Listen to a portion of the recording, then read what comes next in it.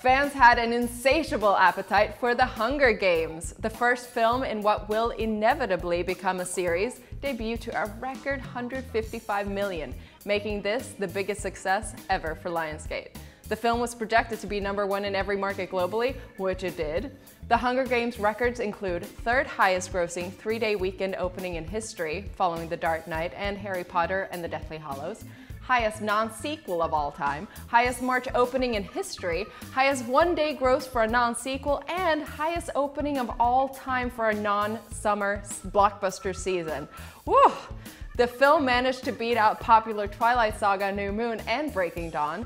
Internationally, the film raked in another 59 million in 67 markets, where it was number one in every country, making this movie the biggest hit in Lionsgate history.